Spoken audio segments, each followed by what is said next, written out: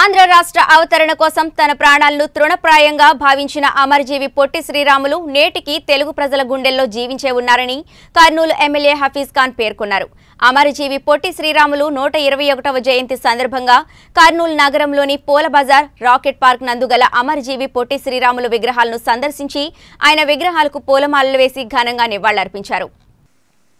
అనంతరం కర్నూలు ఎమ్మెల్యే హఫీజ్ ఖాన్ మాట్లాడుతూ అనుకున్న లక్ష్యాన్ని సాధించేందుకు మొక్కవోని దీక్ష పట్టుదల అమరజీవి పొట్టి శ్రీరాముల నుండి మనము స్ఫూర్తిని పొందాలని తెలిపారు.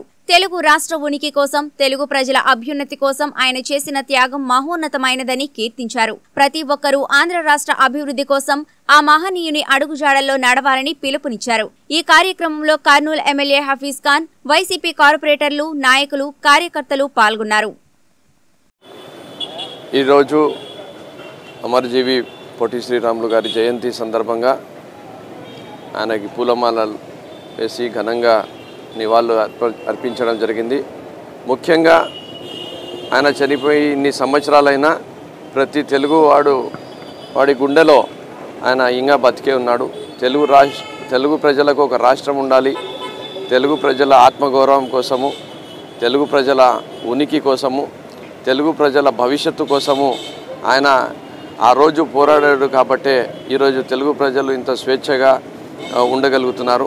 మరి ఎప్పటికీ ఎల్లప్పటికీ ఆ మహా నేత ఆ మహా మనిషి గురించి ప్రతి ఒక్కరు కూడా స్ఫూర్తి తీసుకొని తెలుగు ప్రజల కోసము ఎప్పటికీ పనిచేస్తూ తెలుగు ప్రజల మేలు కోసము తెలుగు ప్రజల భవిష్యత్తు కోసము ఐకమత్యంతో కలిసిమెలిసి ప్రతిదీ కూడా మంచిది చేసుకుంటూ ముందుకు సాగాలని చెప్పి నేను తెలుపుకుంటున్నాను.